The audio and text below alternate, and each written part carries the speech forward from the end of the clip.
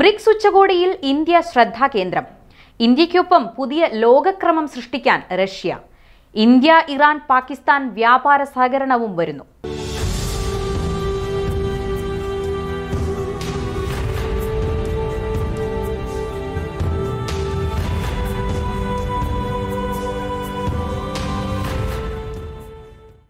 Russian നഗരമായ കസാനിൽ ആരംഭിച്ച പതിനാറാം ബ്രിക്സ് ഉച്ചകോടി പുതിയ ലോകക്രമം സൃഷ്ടിക്കുകയാണ്. റഷ്യയെ ഒറ്റപ്പെടുത്താനുള്ള പാശ്ചാത്യ രാജ്യങ്ങളുടെ നീക്കങ്ങൾക്ക് വൻ തിരിച്ചടിയാണ് കസാനിലെ ഉച്ചകോടി. ഇന്ത്യയുടെയും ചൈനയുടെയും തുർക്കിയുടെയും ഭരണാധികാരികൾ ഉച്ചകോടിയിൽ പങ്കെടുക്കാനെത്തിയത് അമേരിക്കയ്ക്ക് കനത്ത തിരിച്ചടിയായി.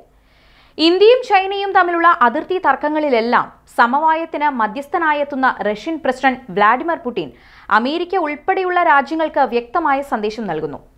ഈസ്റ്റേൺ ലഡാക്കിലെ സംഘർഷം പരിഹരിക്കുന്നത് സംബന്ധിച്ച് ഇന്ത്യയും ചൈനയും തീരുമാനത്തിലെത്തിയെന്ന് ചൈന സ്ഥിരീകരിച്ചത്. കസാനിൽ മോദിയും ചൈനീസ് പ്രസിഡന്റ് ഷീ ജിൻപിങ്ങും തമ്മിലുള്ള കൂടിക്കാഴ്ചയ്ക്ക് മുമ്പായിട്ടാണ്. ചൈനീസ് വിദേശകാര്യ വക്താവ് ലിൻ ജിയാൻ ആണ് ബീജിംഗിൽ ഇക്കാര്യം സ്ഥിരീകരിച്ചത്. പ്രബലമായ വിഷയങ്ങളിൽ തീരുമാനത്തിലെത്തിയെന്നും അത് നടപ്പാക്കാൻ ഇന്ത്യയുമായി ചേർന്ന് പ്രവർത്തിക്കുമെന്നും അദ്ദേഹം വാർത്താ സമ്മേളനത്തിൽ പറഞ്ഞു. ബ്രിക്സ് ഉച്ചകോടിക്കിടെ പ്രധാനമന്ത്രി നരേന്ദ്രമോദിയും ചൈനീസ് പ്രസിഡന്റ് ഷീ ജിൻപിങ്ങും തമ്മിൽ സംഭാഷണത്തിന് അരങ്ങൊരുക്കിയാണ് ഇരു രാജ്യങ്ങളും ധാരണയിലെത്തിയത്. പതിനേഴ് നയതന്ത്ര യോഗങ്ങൾക്കും ഇരുപത്തൊന്ന് സൈനിക യോഗങ്ങൾക്കും ശേഷമാണ് ഈ പുരോഗതി. ലഡാക്കിലെ പോയിന്റുകളിൽ നിന്ന് ഇരു രാജ്യങ്ങളും സൈന്യത്തെ ഘട്ടം ഘട്ടമായി പിൻവലിക്കാനാണ് ധാരണ. അതുകൊണ്ട് തന്നെ കസാനിൽ നടക്കുന്ന ഉച്ചകോടി റഷ്യൻ പ്രസിഡന്റ് വ്ളാഡിമിർ പുടിന്റെ ഭരണകാലഘട്ടത്തിലെ നാഴികക്കല്ലായി മാറിക്കഴിഞ്ഞു. പാശ്ചാത്യ ലോകത്തിലെ പ്രധാന ശക്തികൾ തന്നെ ഒറ്റപ്പെടുത്താൻ നടത്തുന്ന ശ്രമങ്ങളെ വളരെ സമർത്ഥമായി തകർക്കാൻ പുടിൻ നടത്തുന്ന ശ്രമങ്ങൾക്ക് ഈ ഉച്ചകോടി ഏറെ സഹായകമായി മാറിയെന്നാണ് കരുതപ്പെടുന്നത്. ഏഷ്യയിലെ പ്രബല ശക്തികളായ ചൈനയും ഇന്ത്യയും റഷ്യയുമായി അടുത്ത ബന്ധം നിലനിർത്തുന്നത് തന്നെ ശ്രദ്ധേയം. ബ്രിക്സ് സമ്മേളനത്തിൽ ഉഭയകക്ഷി ചർച്ചയ്ക്കിടെ ഇന്ത്യൻ പ്രധാനമന്ത്രി നരേന്ദ്രമോദിയുടെ വാക്കുകൾ പരിഭാഷപ്പെടുത്തുമ്പോൾ മോദിക്കും തനിക്കുമിടയിൽ പരിഭാഷയുടെ ആവശ്യമില്ലെന്ന് റഷ്യൻ പ്രസിഡന്റ് പുടിൻ പറഞ്ഞത് ചിരി പടർത്തി നമ്മുടെ ബന്ധം അത്ര ശക്തമാണ്. പരിഭാഷയുടെ പോലും ആവശ്യമുണ്ടെന്ന് തോന്നുന്നില്ല. എന്നായിരുന്നു പുടിൻ മോദിയോട് പറഞ്ഞത്. മൂന്ന് മാസത്തിനിടെ രണ്ടാം തവണ റഷ്യയിലെത്തിയ മോദിക്ക് വലിയ സ്വീകരണമാണ് പുടിൻ ഒരുക്കിയത്. രണ്ടര വർഷം മുമ്പ് റഷ്യ യുക്രൈനെതിരെ യുദ്ധം ആരംഭിച്ചതിന് ശേഷം റഷ്യയിൽ നടക്കുന്ന ആദ്യ പ്രമുഖ ഉച്ചകോടിയാണ് മൂന്ന് ദിവസങ്ങളിലായി കസാനിൽ നടക്കുന്നത്. യുദ്ധത്തിന്റെ പേരിൽ റഷ്യയ്ക്ക് മേൽ പാശ്ചാത്യ ശക്തികൾ അടിച്ചേൽപ്പിച്ച സാമ്പത്തിക ഉപരോധത്തെ നേരിടാൻ റഷ്യയ്ക്ക് കഴിഞ്ഞുവെന്നതും പുതിയൊരു ലോകക്രമം കെട്ടിപ്പടുക്കാൻ നടത്തുന്ന ശ്രമങ്ങളും പുടിനെ ഏറെ ശക്തനാക്കി മാറ്റിക്കഴിഞ്ഞു. ഇന്ന് ലോകത്തെ ഏറ്റവും ശക്തരായ ഭരണാധികാരികളായ ഇന്ത്യൻ പ്രധാനമന്ത്രി നരേന്ദ്രമോദിയും ചൈനീസ് നേതാവ് ഷീ ജിൻപിങ്ങും തുർക്കി പ്രസിഡന്റ് എർദോഗാനും ഉച്ചകോടിയിൽ പങ്കെടുക്കാൻ എത്തിയത് പുടിന്റെ മികച്ച നേട്ടമായിട്ടാണ് വിലയിരുത്തപ്പെടുന്നത്. ഇവിടെ മറ്റൊരു പ്രധാന കാര്യം തുർക്കി നാറ്റോ സഖ്യത്തിലെ അംഗമാണ് എന്നുള്ളതാണ്. ഐക്യരാഷ്ട്ര സഭാ സെക്രട്ടറി ജനറൽ ആന്റോണിയോ ഗുട്രാസും ഉച്ചകോടിയിൽ പങ്കെടുക്കുന്നുണ്ട്. യുദ്ധകുറ്റങ്ങളുടെ പേരിൽ അന്താരാഷ്ട്ര ക്രിമിനൽ കോടതി പുട്ടിനെ യുദ്ധകുറ്റവാളിയായി പ്രഖ്യാപിച്ചിട്ടും യു എൻ സെക്രട്ടറി ജനറൽ ചടങ്ങിൽ പങ്കെടുക്കാൻ എത്തുന്നത് റഷ്യൻ പ്രസിഡന്റിനെ സംബന്ധിച്ച് വലിയ രാഷ്ട്രീയ പ്രാധാന്യമുള്ളതാണ്. സാമ്പത്തിക മേഖലയിലെ ഉൾപ്പെടെ നിരവധി പരിഷ്കാരങ്ങൾ ഉച്ചകോടിയിൽ ചർച്ച ചെയ്യുന്നുണ്ട്.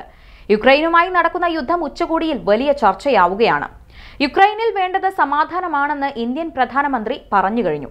പല ബ്രിക്സ് അംഗങ്ങളും യുദ്ധം അവസാനിപ്പിക്കുന്നതുമായി ബന്ധപ്പെട്ട ചർച്ച ആവശ്യപ്പെടാനും സാധ്യതയുണ്ട്.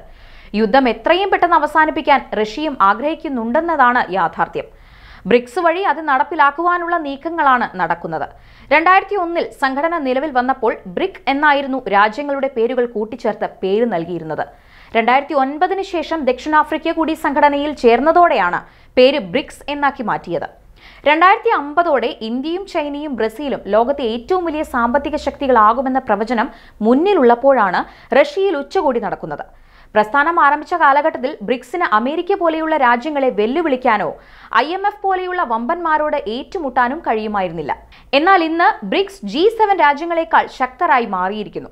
ലോക ജനസംഖ്യയുടെ നാൽപ്പത് ശതമാനവും ഉള്ളത് ബ്രിക്സ് രാജ്യങ്ങളിലാണ്. യൂറോയുടെ മാതൃകയിൽ ബ്രിക്സ് രാജ്യങ്ങളിലും സ്വന്തമായ കറൻസി വേണമെന്ന ആവശ്യവും ഉയർന്നു കഴിഞ്ഞു. ബ്രിക്സിൽ ഇറാൻ പ്രസിഡന്റ് മസൂദ് പെസഷ്കിയാനുമായും നരേന്ദ്രമോദി കൂടിക്കാഴ്ച നടത്തി. ഇന്ത്യ ഇറാൻ പാകിസ്ഥാൻ ഉൾപ്പെടെയുള്ള രാജ്യങ്ങളുമായി വ്യാപാര സഹകരണത്തിന് വഴി തുറക്കുന്ന വടക്ക് തെക്ക് ഗതാഗത ഇടനാഴിയെക്കുറിച്ചും ചർച്ച നടന്നു. ഇറാൻ ഇസ്രായേൽ സംഘർഷത്തിൽ ആശങ്ക രേഖപ്പെടുത്തിയ മോദി പ്രശ്നങ്ങൾ എത്രയും പെട്ടെന്ന് അവസാനിപ്പിക്കണമെന്ന നിർദ്ദേശവും മുന്നോട്ട് വെച്ചു ബ്രിക്സ് ഉച്ചകോടിയിൽ ഇരുപത്തിരണ്ട് രാഷ്ട്ര നേതാക്കളാണ് പങ്കെടുക്കുന്നത്.